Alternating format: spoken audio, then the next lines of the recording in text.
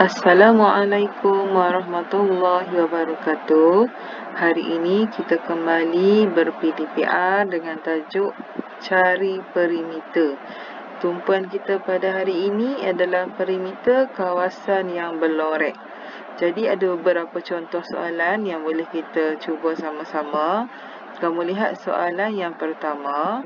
Soalan ini meminta kamu untuk cari perimeter kawasan berlorek. Jadi, ada dinyatakan di sini gabungan sebuah segi empat tepat dan sebuah segi tiga. Dan kamu dikehendaki mencari perimeter kawasan berlorek. Jadi, untuk cari kawasan berlorek ini, kita tengok apa maklumat yang ada pada gambar rajah. 4 cm, kamu nampak ada tanda calit ni. Ha, ini maksudnya sama ukuran. Okey, sama ukuran. 4 cm, jadi di atas pun 4 cm.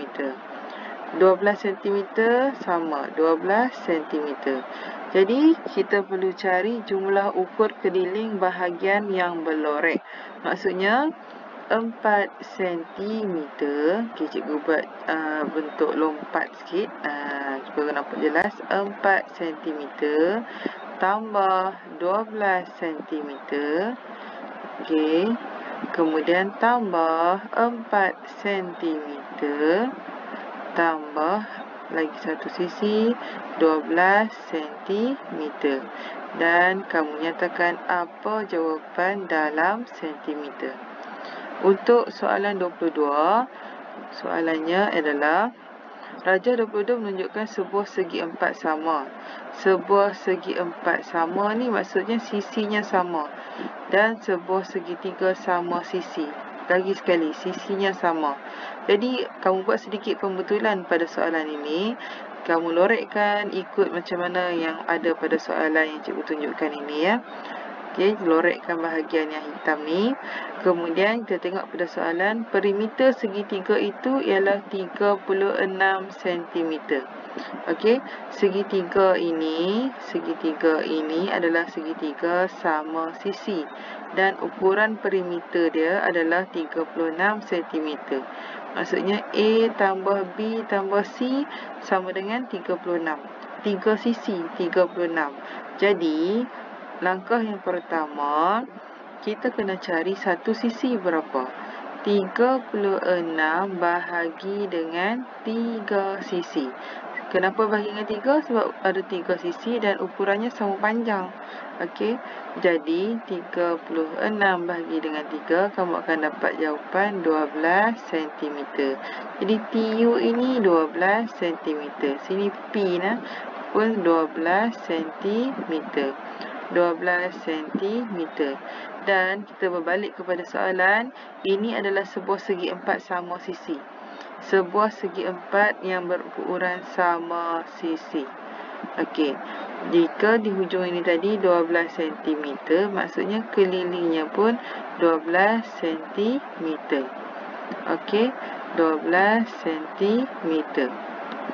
Uh, okay. Sekarang soalannya ialah hitung perimeter kawasan yang berlorek sahaja. Kawasan yang berlorek ini, kawasan yang mana? Okey, kita lukis sedikit macam mana kawasan berlorek. Okey, yang ini ni. Ha, dia dah tajam di sini. Ha, jadi di sini sudah ada label berapa ukuran. Jadi kamu kamu cari nilai perimeter gambar rajah yang dilukis ini, yang berlorek, yang hitam tu saja. Okey, soalan 23. Ini adalah sebuah segi empat tepat. Okey, sebuah segi empat tepat. Cikgu harap kamu bulatkan maklumat penting pada soalan kamu ataupun kamu garis, kamu ada highlight, kamu boleh highlight dan juga sebuah segitiga sama sisi. Okey. BED ini adalah sebuah segitiga sama sisi. Maksudnya sisi dia sama panjang. Dan soalan perimeter kawasan berlorek. Jadi kita tengok kepada soalan apa maklumat yang ada. 8 cm A hingga C. Maksudnya B dan ED pun 8 cm dan kamu jangan lupa ia adalah sebuah segitiga sama sisi.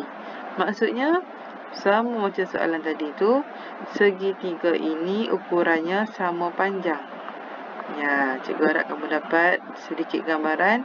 Jika satu sisi dah jadi 8 cm, dua sisi lagi berapa? Kemudian cari perimeter. Okey, kita pergi pada soalan 24. Hitung perimeter kawasan berlorek. Ini adalah sebuah segi empat sama. Sisinya sama. Okey, 12 cm, 12 cm. Jadi, hitungkan ukuran segi empat tepat ini. Okey, yang dia nak itu ukuran yang berlorek sahaja. Okay, soalan seterusnya, soalan 25. Gambar raja ini adalah sebuah segi empat tepat. Hitung perimeter kawasan melorek. Okay, mudah saja. Jika di atas ini sampai nak pandang ni 10, bawah ini pun mesti 10. Jadi sini 14 cm, di sini pun 14 cm. Kirakan perimeternya. Soalan 26 menunjukkan gabungan sebuah segi empat tepat dan sebuah segi empat sama. Okey, ini adalah sebuah segi empat tepat dan sebuah segi empat sama. Okey, jadi apa yang kita kena buat? Perimeter kawasan berlorek sahaja. Okey, yang berlorek. Jadi kamu lihat 18 dah ada jelas kat sini. Cikgu lukis sedikit gambar. Ha, 18 cm. Jadi samalah ukurannya. Jadi yang bawah ini pula berapa? Kita nak kena cari di bawah ini. Jika dalam kotak ini 8 cm. Okey, 8 cm. Berapa ukuran yang tinggal untuk bahagian yang cikgu buat bulat ni? Keseluruhannya adalah 16. Kemudian segi empat sama ini 8 sisi. Jadi berapa baki bahagian yang ada di sini? Maksudnya kamu boleh buat 16 cm tolak 8 cm. Kamu akan dapat jawapan untuk baki yang ada di sini. Kemudian kamu boleh cari perimeter. Soalan 27. Sebuah segi empat tepat. Okay, dan sebuah segi tiga kaki sama. Okey, sama kaki, kaki sama, okay, lebih kuranglah. Jadi, ini adalah sebuah segitiga yang dikatakan sama kaki ni, kaki sama. Jadi, ini 8 cm. Macam kamu berdiri, mesti kaki kamu sama panjang. Ha, 8 cm. Di sini pun 8 cm. Jadi, cari perimeter kawasan yang berlorek. Jadi, maksudnya, cari keluas uh, perimeter segitiga inilah. Okay, soalan 28 pula. Sebuah segi empat tepat dan sebuah segi tiga. Jadi, perimeter kawasan beloreknya berapa? Soalan dah ada di sini. Dah dicantakan 24 cm. Kita dah dapat satu maklumat. Di sini pun kita dah ada 30 cm. Di sini ini kau boleh rujuk sama panjangnya. Okey, 18 cm.